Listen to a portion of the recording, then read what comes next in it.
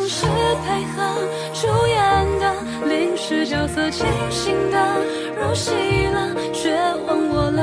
你好像也察觉了什么，不动声色，偷偷用心配合，爱你像遥远的风吹过每个角落，简单的却独特，就算只是过客，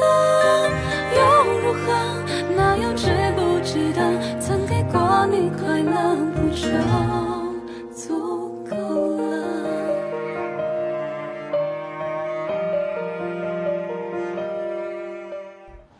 我没有使用招，我相信你。怎么一会儿假扮一会儿害人？沈总这是太嫉妒小何总了吧？你看那边，看看季总的动作，他超爱，就是咳嗽完了。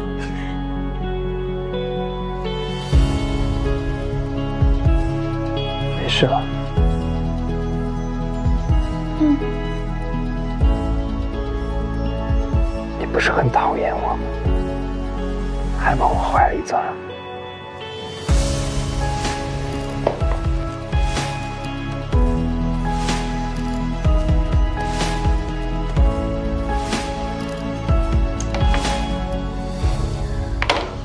怎么都那么晚了，你是讨厌吻戏，还是讨厌跟我接吻呢？我最讨厌你。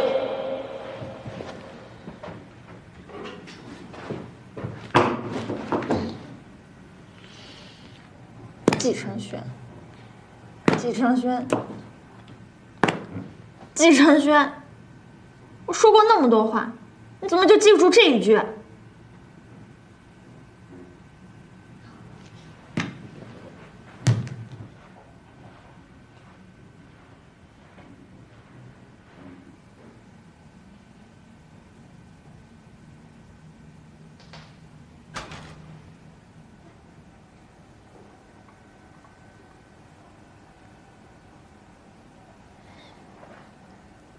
空有五官，没有三观，最好就这样一动不动，给你做成标本。我当你是在夸我了。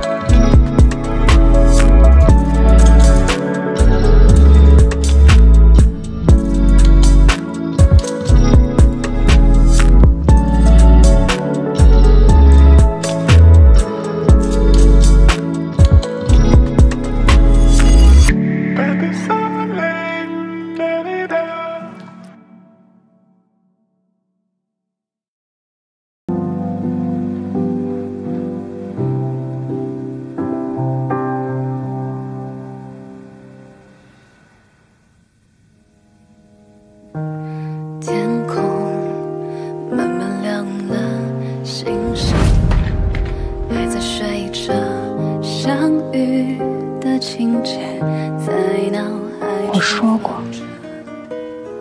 我是个坏女人。我喜欢一切跟坏有关的。是我不完美的角色，戏份不会太多。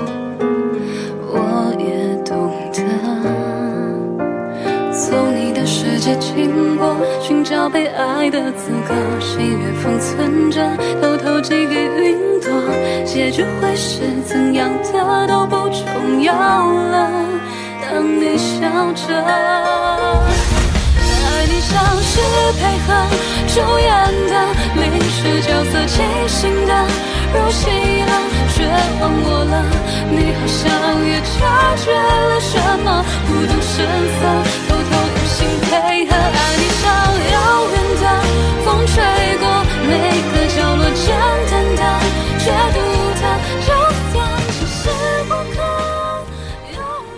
来这儿干嘛？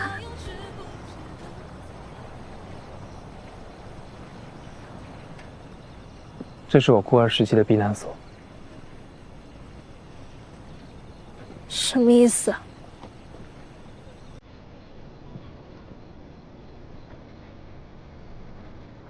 我小的时候，一被别人欺负，就会躲在这里。有一天，我在这儿遇到了爷爷，他送了我个礼物。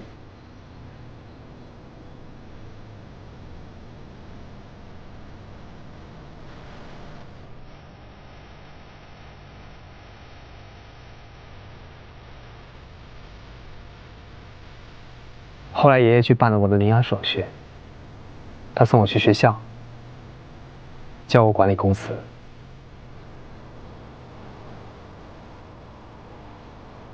除了没有血缘关系，他就是我唯一的亲人。所以是被爷爷领养的。现在爷爷的身体一天不如一天，但暗中觊觎贺家家产的人太多了。与其让那群人分食贺家，倒不如我来做那个恶人。可是你明明能力出众，又一心向着贺家，爷爷为什么不直接把家产给你呢？你知道爷爷为什么那么宠你吗？因为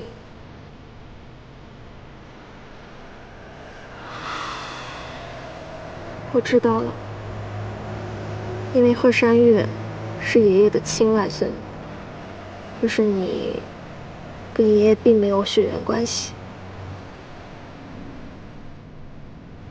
能力在血缘面前不值一提，但我最近好像有些动摇了。我不知道自己做的是不是对的。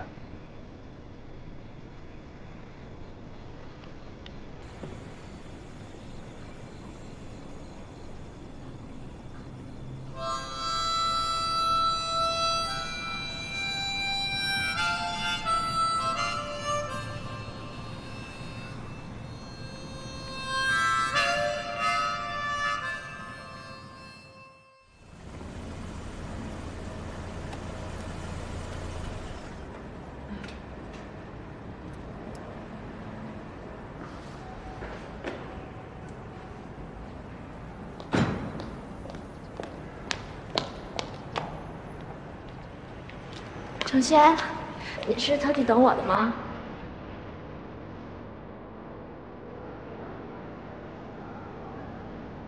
真正摆你一刀的人是他。飞波，像这种亲密的私照，只有你的枕边人才可以拿得到。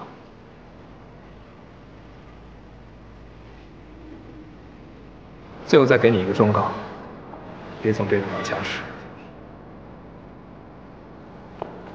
朱娟朱娟朱娟沈月然我可以接受夏天的。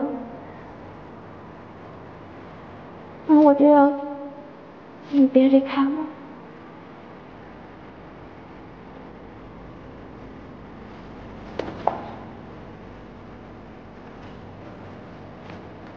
别忘了你是贺氏的沈小姐。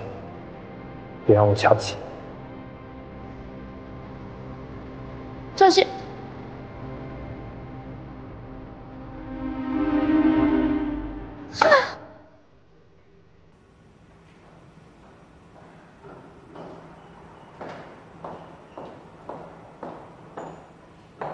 秦副总，你也等电梯呢？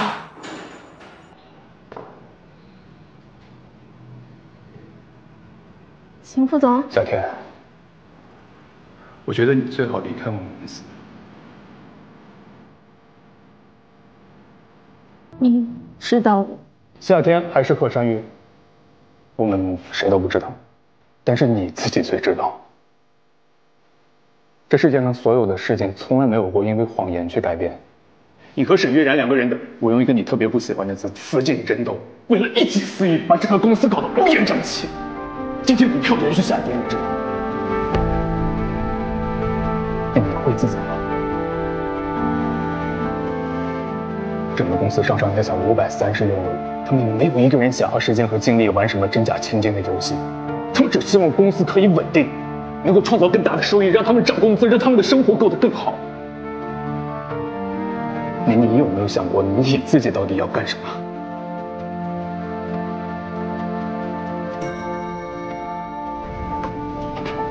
你先走吧。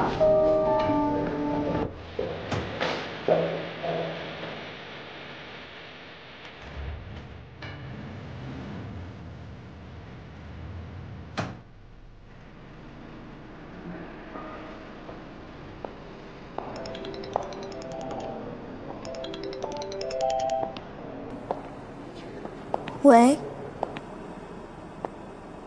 哦，我是。